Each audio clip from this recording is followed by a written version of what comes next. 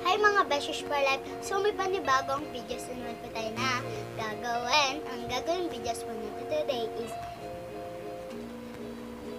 is answering fun question. So, bago niyo po malaman, simulan na natin!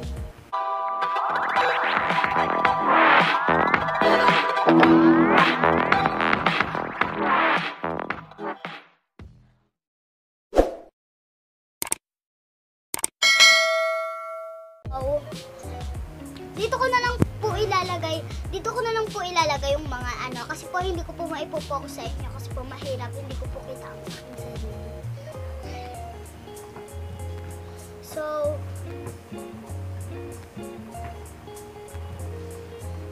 so, nag-post ako sa aking Facebook and may mga nag-comments.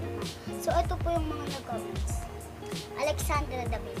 Hmm, gaano ba kahirap ang ang mag-vlog like sa pag-film? Sobrang hirap po mag-film kasi po ano po yung papagalitan ka ng director mo, yung dire- directoran mo, papagalitan ka po nun. Bakit ba mali-mali? Ayusin mo naman yan. Siyempre, gaganunin ka. And katulad kanina, napagalitan din ako kasi ang hindi ko nabasa ng maayos. Ang ang nabasa ko is answering. So, kaya napagalitan talaga ako ng aking boss, bossa. And, pangalawa, sabi niya, shout out na rin po. Mamaya ko na ikaw shout out. And, Alice Aquino, pang 2.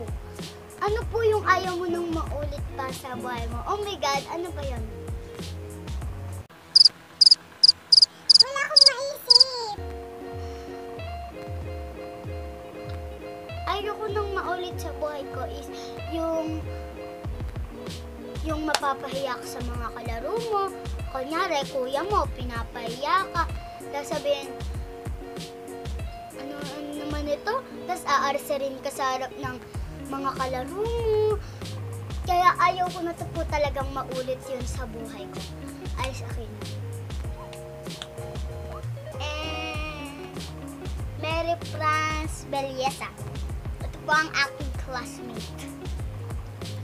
Bakit naisipan mong mag-vlog? Vlog, vlog. mag, bakit naisipan mong mag-vlog?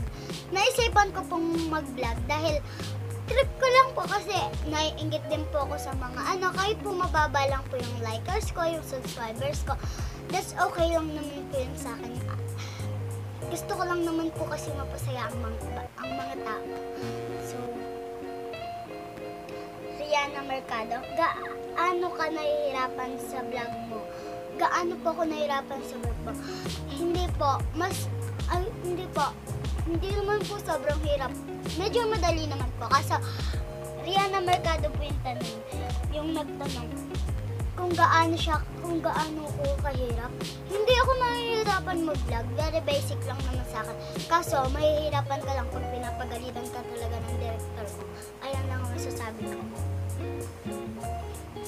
And Paula Ariana Hailey Vera Cruz.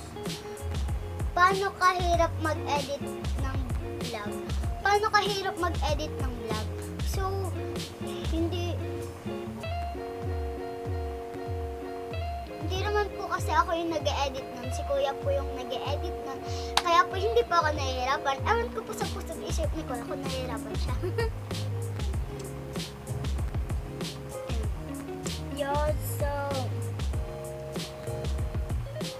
Nag-post ako ng video na drop a question. Dit sa YouTube naman po, nag nag-post ako ng drop ng drop na video ng drop a question and I'll and I'll answer it to my next vlog. At meron naman Naki-operate.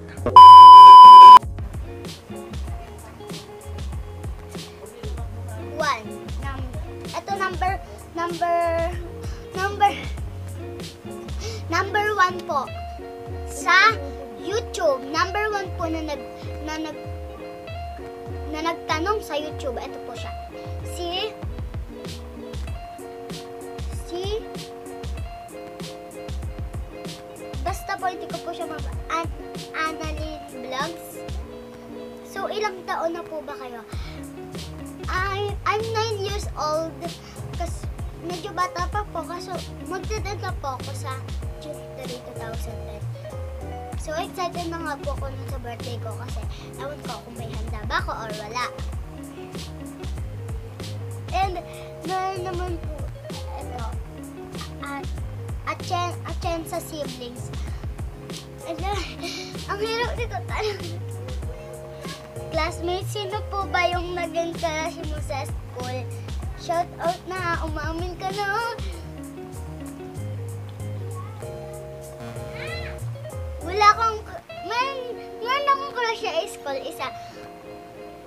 Pero hindi ko na lang sasabihin sa'yo. Secret na lang po yun sa, pang sa akin sarili lang po. So, hindi naman kita sasagutan. Basta, meron na po, hinahangaan ko lang po siya. And, sabi niya, Bebe, Bebe mo, na ano po ba yung favorite fruit, vegetable, vegetable dessert? Favorite fruit ko po is mango and grapes. Ayun lang po yung fa- favorite ko, mango and grapes. Kasi po nasasarapan po talaga ako sa mango, lalo na po sa grapes. Vegetable. Halos lahat po ata ng vegetable gusto ko. Wala po akong inuurungan na kahit sinong gulay. This So, balik tayo dun sa dessert. Tinawag kasi ako. Favorite dessert ko po is ice cream and kasi ako nakain siya dun. Ay lang po, ice cream. Isa lang po ang favorite dessert. And hindi ko po alam pangalan nito eh. Ito po, ano, Brit, Brit, Britney Sib- siblings. Ano po ba yung favorite subject mo? Mape. Mape po ang favorite subject ko. Kasi po, very basic lang naman po masyado ang pinag-aaralan doon. Lalo na po kung test pa yan or quiz, medyo lagi po ako perfect. Kaso, may mali nga po. And, at last makeup vlog. Kung papayagan ka mag-travel, sino yung gusto mo makasama? And shout out na rin po at last. And,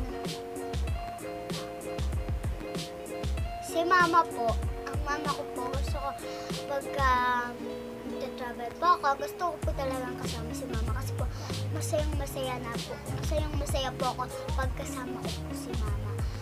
And miss na miss na nga po din kita, mama. I love you, mwah. And means and may nung nag ano, hindi ko siya na ano, basta iyang nakalagay. Minsan naiingit po ako sa mga small YouTuber na malakas na din. So, paano nyo po ba umpisa na po ba inumpisahan yung vlog nyo? Inumpisahan ko po siya sa vlog ko na time na ngayon, point na po yun, yung panoorin nyo po tong vlog ko na to, vlog ko na to, panoorin nyo po to. Um, Anthony Vlogs po. Ba, oh. Si, si Anthony Vlogs po. So, eto po yung first vlog ko. Please paunoorin nyo na po yan. Kasi po dyan po ako nagsimula sa point na nag-vlog ako. So, meron pa po yung, gumala ka, gumala ka. May nagbubulong, may nagbubulong-bulong pa po yan. Kasi sino po nakana, nakanood nun, please pa-subscribe na lang po ka, kahit po pangit. And pa-like na rin po.